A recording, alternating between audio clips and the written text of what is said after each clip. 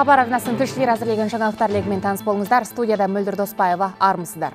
Биыл еліміздегі бірнеше маңызы бар республикалық күре жолдардың құрылысы мен оларды қайта жаңғырту жұмыстарын аяқтау жоспарланып отыр.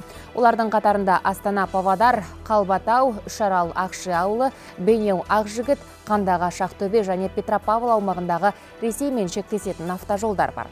Курортты аймақтардың жолдарында жөндеу басты назарда болып отыр. Ақмола облысында щучье мен зеренді арасында тас жолды қайта жаңғырту жұмысы толық аяқталады. Ал шығыс қазақстан мен алматы облысында алакөлге апарар барлық жолдардың құрылысы да биыл басталады. Сондай ақ жеті жүз шақырымнан асатын талдықорған өскемен автожолы жөнделеді. Бұған қоса қарағанды балқаш бурыл байтал тас жолы да күрделі жөндеуден өтеді. 2018 году мы 200 уже 2018 жылы республикалық маңызға ие 4600 шақырымдық жол қайта күрделі жөндеуден өтті. Жалпы елімізде мұндай жолдардың ұзындығы 24 мың шақырым екендігін ескерсек, жөнделген жолдар осының 20%-ын құрап отыр. Ал Батыс Қазақстан облысында биыл ең шалғай аудандарға апаратын 122 шақырым жол жөнделеді. Бұл өткен жылғы көрсеткіштен екі есеге көп. Жәнібек, Зеленов, Шыңғырлау, бөрлі тасқала теректі және ақжайық аудандарының аумағындағы жолдарды жөндеуге 8 миллиард теңге бағытталады. Былтыр республикалық облыстық және қалалық маңыздағы 279 шақырым жолдарды жөндеуге 34 миллиард теңге жұмсалды. Орал тасқала ресей шекарасы автожолының құрылысы сәтті аяқталды. Аймақ тұрғындары асыға күтіп отырған маңызды жобаның бірі жәндібек бөкей ордасы және қазталов аудандарына апаратын жолдың құрылысы алдағы үш жылда аяқталады. Ұзындығы 245 километр жолды құрайтын жол жөндеу жұмыстары жоспарланып отыр. Оның ішінде казталов жәнібек ресей федерациясының шекарасы 142 километр өнеге бесен сайқын 103 километр. Қазір уақытта жобалық сметалық құжаттамалар жасақталып мемлекеттік сараптамаға жолданған болатын. 2021 жылдың аяғына дейін бұл жолдарды күрделі жөндеу жұмыстары аяқтау жоспарланып отыр. Өзге де жаңалықтар. Алдағы уақытта мемлекеттік жекеменшік әріптестік аясында Астана қаласы көшелерінде ескі жарық шамдар жаңасына алмастырылады. Қазіргі таңда аудан әкімдіктерінің тапсырысы бойынша 5000 диодты шамдар жаңасына ауыстырылған. Олар электр энергиясын 30-40%ке дейін үнемдеуге мүмкіндік береді. Оған қоса шамдардың жарық шашуын 100-ден 0 пайызға дейін қысқартып басқаруға болады. Уже...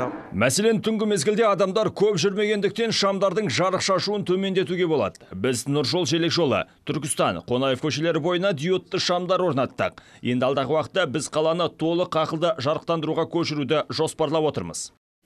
Индустрияландырудың үшінші бес жылдығында алғашқы екі бес жылдықтың тәжірибесі ескеріледі.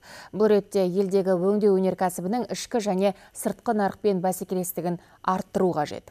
Биыл 1,6 триллион теңгеге 161 жобаны жүзеге асыру жоспарланып, 30 мыңға жуық тұрақты жұмыс орны құрылады.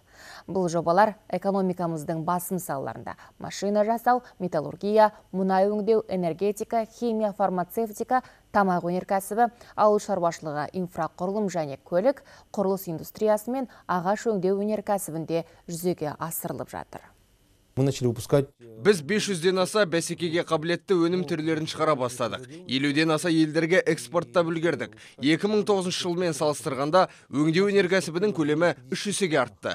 Құрылыс саласында өнімдер көптеп шығарыла бастады. Сондай ақ фармацевтика өнеркәсібіне келсек 25 жаңа жоба әзірледік. Химия өнеркәсібінде де біршама оң өзгерістер бар. Қостанай облысында еліміздің солтүстік өңірінде бірегей қоқыс сұрыптайтын кешен ашылды. Бұл жоба тұрмыс қалдықтарын бақылау бағдарламасы аясында жүзеге асырылып отыр. Келесі кезеңде оны толық өңдеп, дайын шикізат алу жүйесі іске қосылатын болады. Экономикалық және экологиялық маңызы зор тың бастама туралы тілшіміз Мағауия Қалиев тарқатады. Қостанай облысында 300-ден астам қоқыс полигоны бар. Соның тек 35% ғана заң талаптарына сай жабдықталған. Ауыл аймақтарда қараушы жатқан қоқыс алаңдары да аз емес. Осы жағдайды бір жүйеге келтіріп, тұрмыс қалдықтарын барынша іске жарату мақсатында өңірде 5 жылдық бағдарлама дайындалды. Оған бизнес өкілдерін тарту үшін жеңілдіктер қарастырылған. Участвуя в этих программах, бұл бағдарламаға қатыса отырып кәсіпкерлер инфрақұрылымды дамытуға қаржылай қолдауға ие болады. Қоқысты сұрыптап кәдеге жарата білгендерге өтемақы төленеді.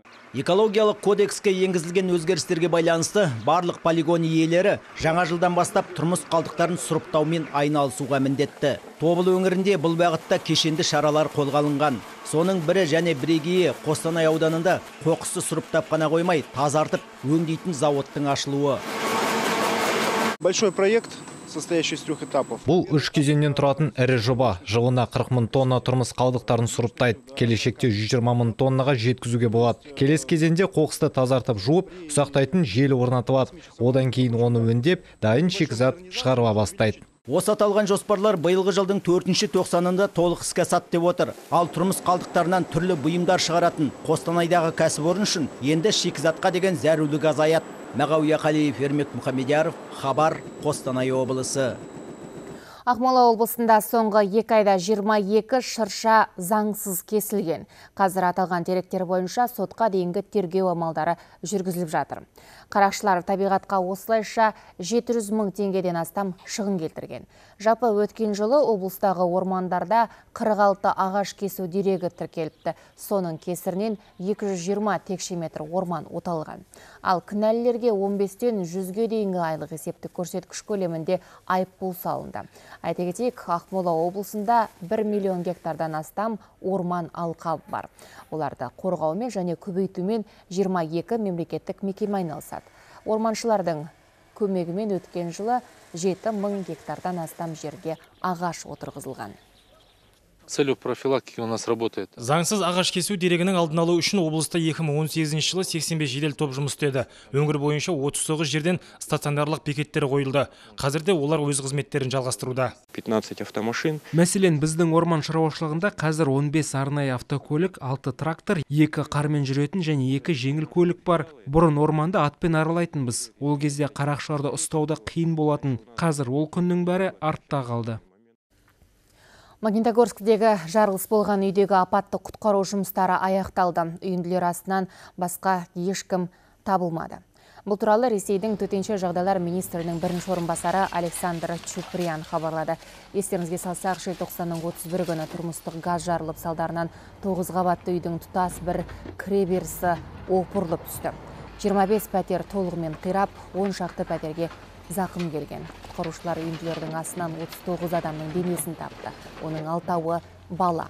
5 адам мен 11 айлық нәресте құтқарылды. Қазір жарылыстан зардап шеккендерге психологиялық көмек көрсетілуде. Қайтыс болған адамдардың отбасыларына миллион рубль, ал жарақат алғандарға 200 бен 400 мың рубль аралығында өтемақы төленеді. Сондай ақ зақым келген пәтер иелеріне де өтемақы тағайындалады. Ал жарылыстың кесірінен баспанасыз қалғандарға пәтер беріледі.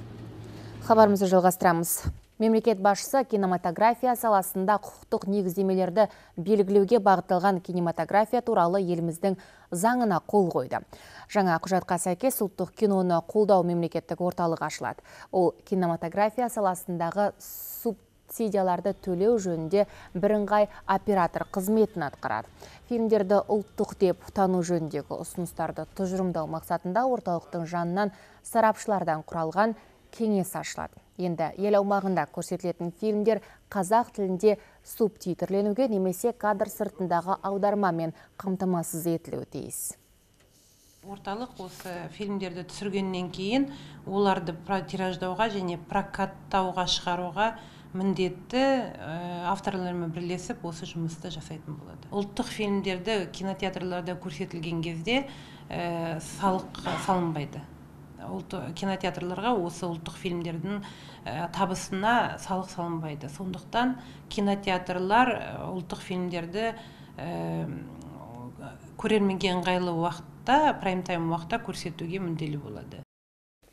Әзірге осы жаңалықтарымызды сондай хабар нүкте kz сайтынан және әлеуметтік желілерден де көре аласыздар. Ал 9.00-де орыс тіліндегі жаңалықтармен әріптесім Жанна Әлбекова таныстырады. Келесі эфирде жүздескенше.